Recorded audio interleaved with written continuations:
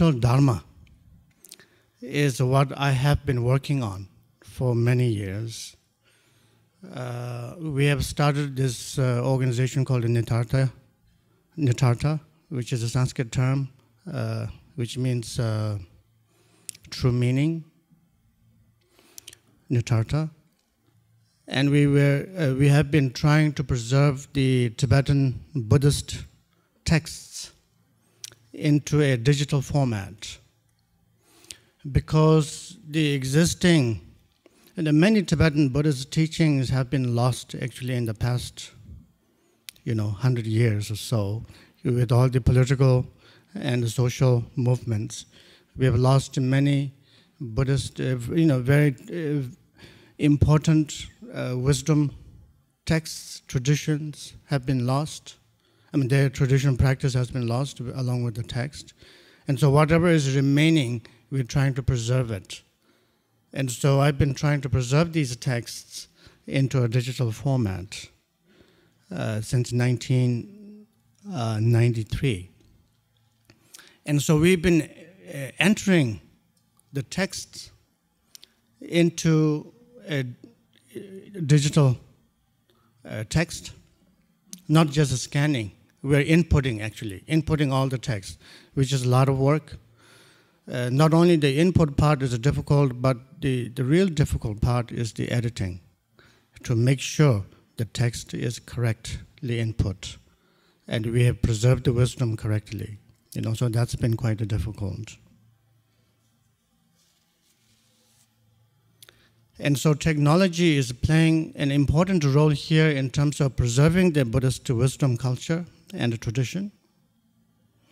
At the same time, uh, it is really changing our world of Dharma practice. Not only the scriptures, but also the way we practice is changing because of the technology, right? For example, um, this week, you know, we had His Holiness uh, the 17th Karmapa teach in New York City. I was there uh, this week. He was teaching there, and uh, the actual audience in the theater was only like um,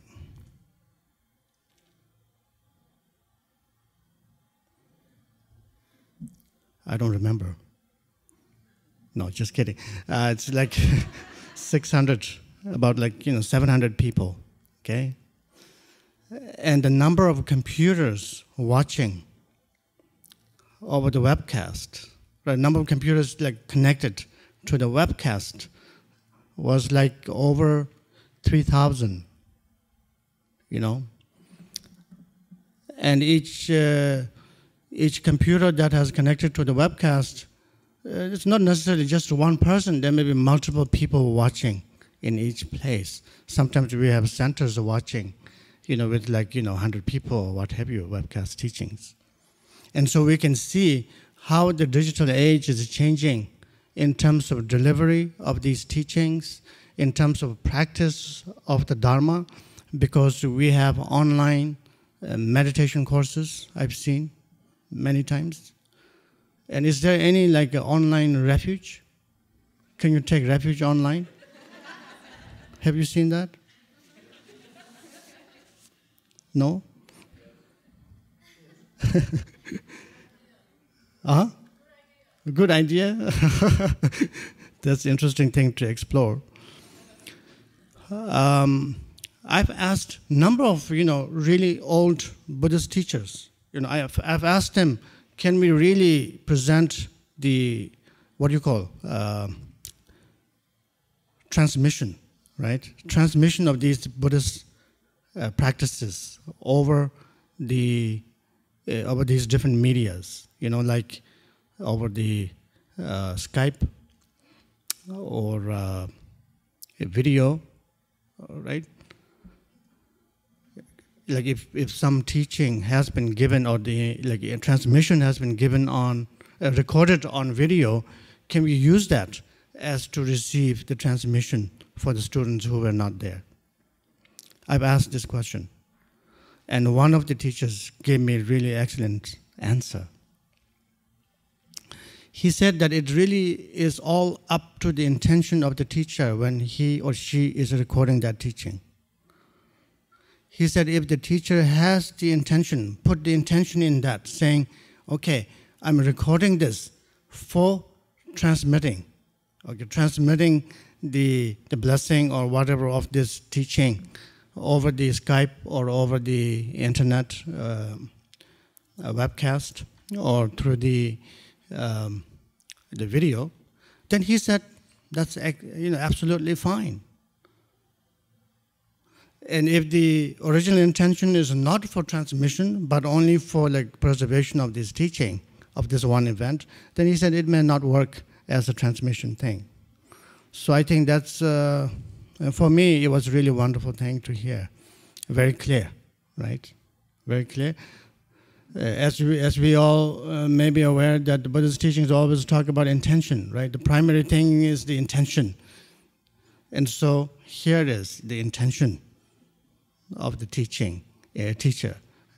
And so therefore, the digital age of technology is changing the way we are practicing Dharma, the changing the way we are actually studying the Dharma, and changing the way how we are interacting with each sangha uh, communities. You know, it has uh, so many good qualities. At the same time, it is also very dangerous. I think very dangerous age.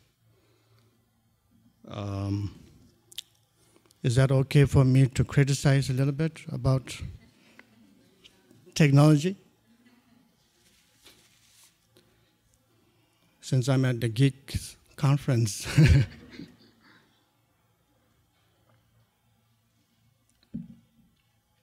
you know, there is this danger that uh, instead of technology that we have created to bring happiness to humanity, you know, if the technology is making us more suffering, then that's another problem here with the technology, right? Uh, the original purpose of creating all this technology is to bring happiness, to bring benefit to our human uh, society and also to all other sentient beings, so to speak, you know. I remember in the 80s when I was here in this country that uh, in America, that you know people were so excited about the, the notebooks and the laptops, you know, all these things, computer technology, saying that now, you know, everything is going to be much easier. We will have much more time. Look at where we are now, right? We actually have less time, isn't it? Uh, and the horrible news is now the airplanes are offering Wi Fi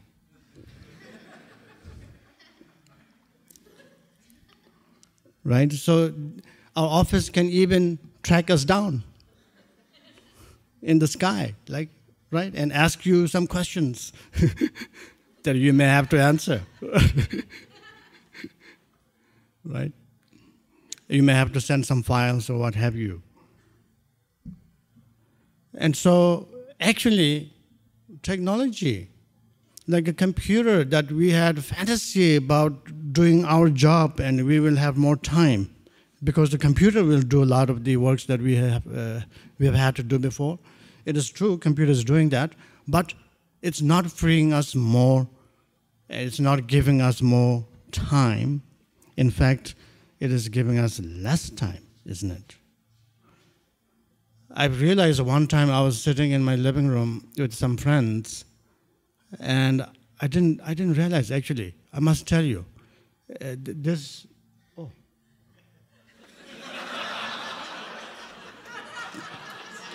Technology. Time machine. yeah. you see,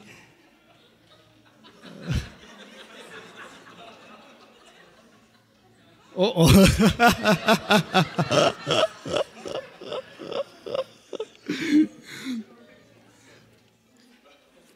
I must tell you, you know, how, how how much I was lacking mindfulness. You know, I didn't realize until like maybe 30, 40 minutes into that.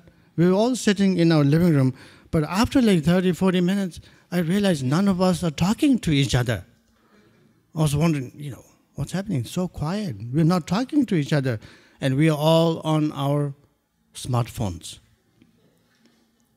You know, we're not talking. We're all just doing something on your phone, smartphone. And then I was joking with them, say like, actually, we don't really need to talk because we can send text message to each other, right? Or uh, what do you call that? Uh, WhatsApp. you know, you can send pictures to each other. And so you see, uh, as more and more technology is developing, actually, sometimes there's a sense of uh, losing our human, you know, basic human connection. You know, I think that's the little bit dangerous part, in my view. People are getting very isolated in their smartphones and iPads and computers. And uh, one of my friends was really into this thing called the Second Life, right? Have you all tried that or no?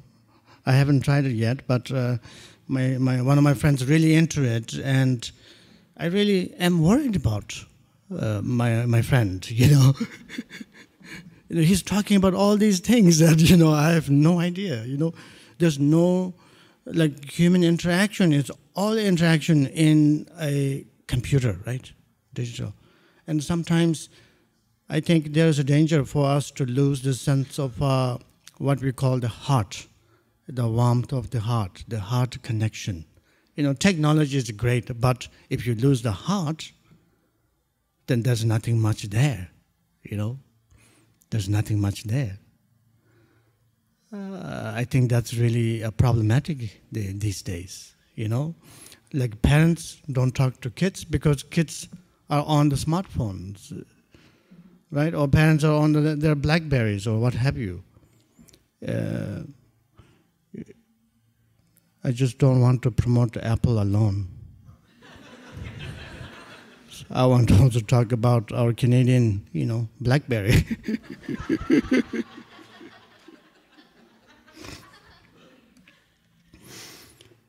you see, the parents on BlackBerry, the fathers on BlackBerry, the kids on some kind of smartphones, and mom's on iPad. No one's talking to each other. You know, there's no warmth in that kind of environment. You know, like uh, it's very affluent. It's a wonderful that we're using technology, but also we must save some time for this heart-to-heart connection you know. That's why I do enjoy preserving the Dharma in a digital format, but at the same time, I can't get rid of my books. Really, I really feel there's some healing kind of power. You know, when you touch the paper, right? When you flip a page, and when you can smell this kind of you know paper, there's some magic there. You see, which, you, which I don't feel from turning my page, uh, page on the iPad. I don't feel the same. You know, it's, it's beautiful to read on iPad or, you know, uh, Amazon's, what do you call that, Kindle. It's really beautiful. It's wonderful, lightweight and everything. Because I travel a lot, I need that. It's helpful. But there is no magic of the heart yet. And so if all the geeks there are in the world here, right? If we can put our efforts into this to bring some heart, bring some magic of the heart into our technology, I think that will be the day, you know, where we can say, this is it. You know, now we have everything here. There's, there's a heart there, heart connection, the warmth. At the same time, everything we can imagine from the technological side, you know.